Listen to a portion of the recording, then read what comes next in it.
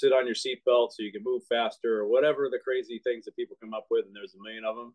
Sooner or later, it's going to come back to bite you in the ass, and you're going to be one of those folks that we walk out of the building who's staring like a deer in the headlights, you know, saying, "What am I supposed to do now?" And uh, that's not a position you want to be in.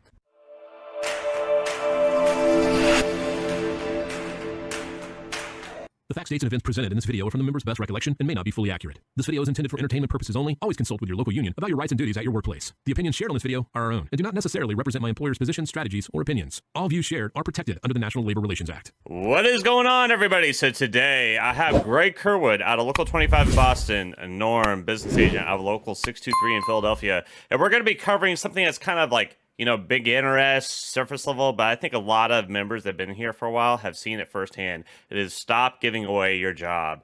And before you click off, we're going to have, I know this is surface level stuff, but for all you veterans and people been here for a long time, we have an expert level question I'm going to throw to Greg that one of you asked in the comments section on the last video.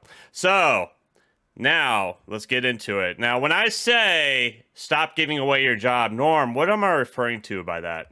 There are things that we do as drivers and as employees that we think that are helping a company, but it, essentially we're hurting ourselves. I'll give you an example. Um, I'm going to scan these airs away from the stops so that they're not late. But you think you're helping a company, but once the company gets wind of it, you're going to be the first one to go. They're going to say that you're falsifying records. Now, when he says that story, Greg, um, you've been here for a long time, just like me. I mean, did management ever teach these members to do these cut these corners um, at all that could actually cost them their job later down the road? Absolutely. That's standard training at this point is to to get the members the only thing that, that the, the trainers are concerned with is your numbers your score your your paid day. Um, they will teach drivers uh, and probably preloaders too uh, completely the wrong way to do things right? Just throw the packages in the truck or uh, you know dump everything in the lobby of the apartment building, or uh, you know hit, hit CIR and, and, make up a name, or put in doc. Um, you know, there's there's a million and one ways uh, that that they teach people to fudge things. Um, I would also add that you know it's not just sometimes people think they're doing the company a favor, uh, but it's a lot of times people think that they're helping themselves out. Uh, they're tailoring the job to fit their needs. I like to take my lunch at the end of the day because it's easier for me. Or, uh, you know, I like to toss everything here or leave it on the dock and, uh, you know, I'm in good with the guy or call all my customers to see if they have any pickups and then complete the pickups somewhere else. There's one way to do this job. There's 340 methods. You follow those methods, you're going to be fine for the course of your career. But if you try to take shortcuts or think that you're going to do it your way, uh, reinvent the wheel, uh, you know, sit on your seatbelt so you can move faster or whatever the crazy things that people come up with, and there's a million of them. Sooner or later, it's going to come back to bite you in the ass, and you're going to be one of those folks that we walk out of the building who's staring like a deer in the headlights, you know, saying, "What am I supposed to do now?" And uh, that's not a position you want to be. Yeah, I remember a long time ago uh, when you know management was training us. They used to tell us, uh, you know, when you scanned air, you, you need to lock it in if it's 1029 and you're going to have late air, just scan it and lock it in. And then as soon as they got the company started implementing GPS into all their trucks, we had like three or four people get fired because they locked it in, you know, just just do the job honestly. Like if you're going to do something that's going to later down the road uh, screw over the customer, just don't do that. You know, you may be thinking you're doing a favor for your boss, but if you're screwing over that customer and he calls a 1 800 number, your boss has to report to somebody else. So, you know, Norm, when you're, you've dealt with a lot of cases, you know, and how many of these cases, percentage wise, would you say, is somebody uh, cutting a corner because they think they're doing the boss a favor? I would say almost 60 to 70%. Not just drivers, but the inside employees as well, the preloaders, the twilights, the midnight people, as Greg said, for drivers, there's over 340 methods. There's the methods for the inside workers. Do it the right way. I can't I can't stress this enough. Follow their methods. Do what they say to do. We don't worry about poll times. We don't worry about next day airs. If you get out of the building at 9:30 and you have airs that are due at 10:30, you got to drive 30 miles. Whose problem is that? Are you going to speed and put yourself in trouble, Or are you're just going to say, hey, I'm going to have late airs and let the company eat it.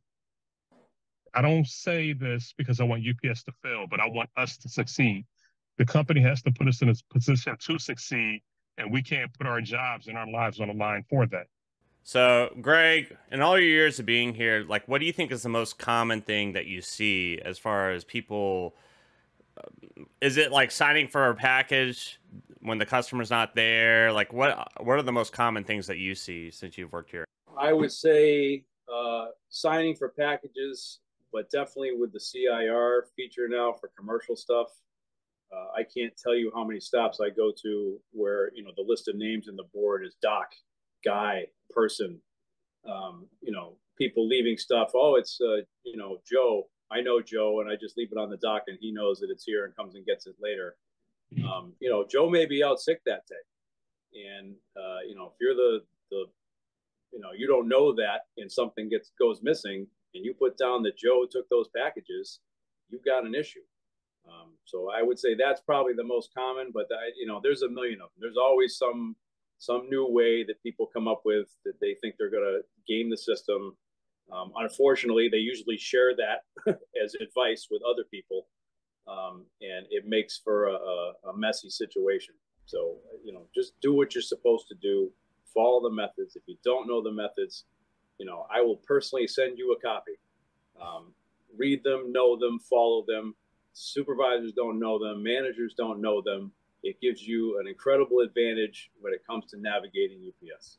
Yeah, and if you need the methods, you can email me, roslhub at yahoo.com. I'll forward them your way. Now, Norm, same question. You've been here a long time. What are the most common things that you mm-hmm. see drivers do or inside workers do uh, that can get themselves terminated? As Greg said, a big thing is sign up for packages. A big, big thing. Um, when we have cases and management, they have long history. They bring out records. Okay, all your signatures on your delivery report look the same. They say doc or door or hospital. When it's a package that requires a customer signature, if it's, if it's a signature required. Um, lunch violations, surprisingly, people not taking lunches when the company instructs them to. It's it's beyond unbelievable to get a discipline for not taking your lunch. So these are some of the most common things that I see. Absolutely. And I, I, highly suggest if all this is new to you and you don't understand it, like there's a backlog of videos that we have on here just covering like dishonesty and everything else. But the thing is, is that as Greg said and Norm said, just do the job the way you were trained. And if it seems fishy, if management's telling you to do something that seems a little off, say, yeah, I'll do it. I just need to have it in writing so just to cover your ass. And, and in a time like this, when the harassment's peaking up and it seems like they're getting onto everything, you really want to have all your ducks in a row. Unfortunately, I've had some people reach out to me, and I know these two have seen it firsthand, where there are members losing their jobs right now over really petty, dumb things because they've been doing it their entire career. And unfortunately, just like Norm just said, is that when management ends up firing you, they dig into your records and they see if there's a pattern and they bring that pattern to the panel so they can say, listen, he's not just dishonest this one time, he's been dishonest his entire career. And it makes it hard. Norm, you can, you know, uh, mm-hmm.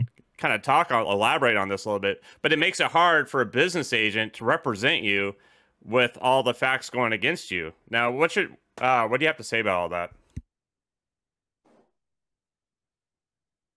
what can I not say about it?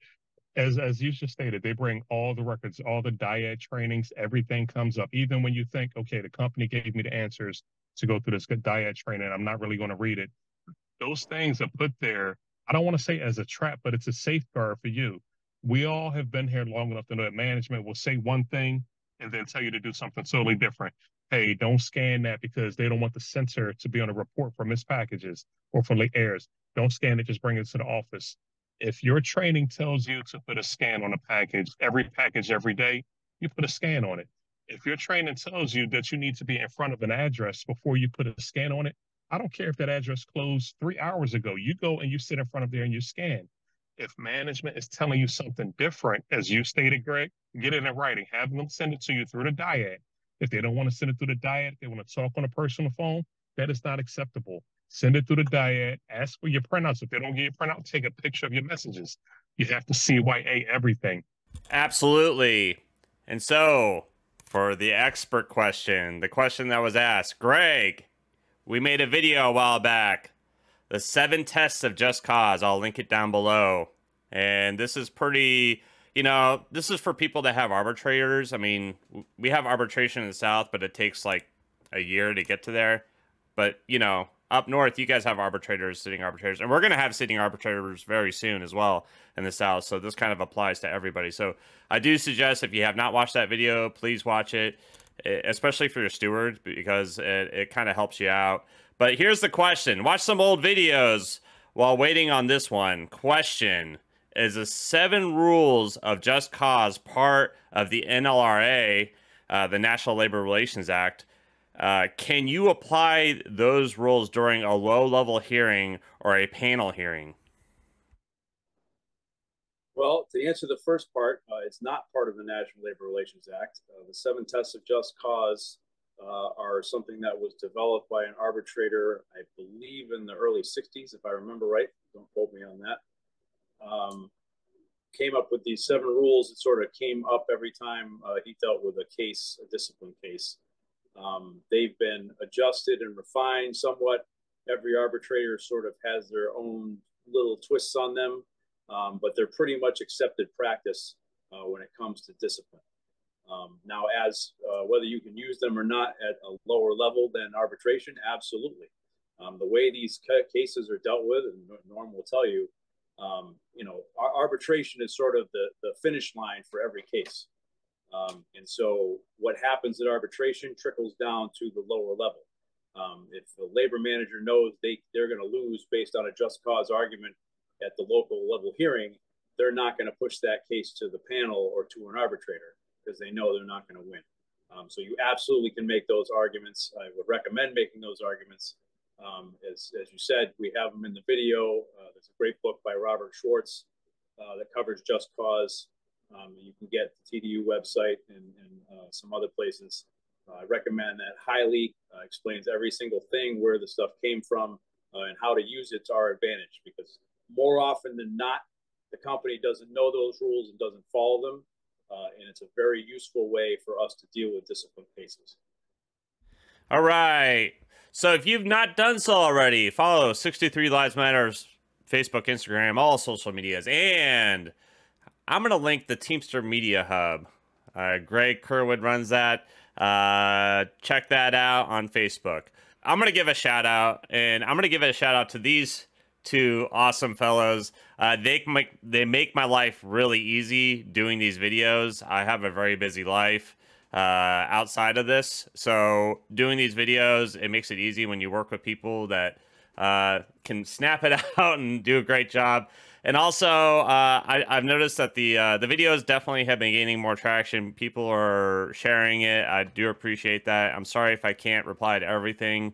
Uh, I have these videos uploaded to several different platforms, so there's a lot of comments to go through. But uh, I do appreciate them. I do try to read through them, and if I don't reply, please, I'm sorry. But uh, anyways, that's all I got. Love you guys, and I'll see you next time. Sorry. I'm gonna edit something. You're you're for whatever reason when I look at your video, you look like you're a tiny man stuck behind a giant steering wheel. So I couldn't unsee it. Do you want?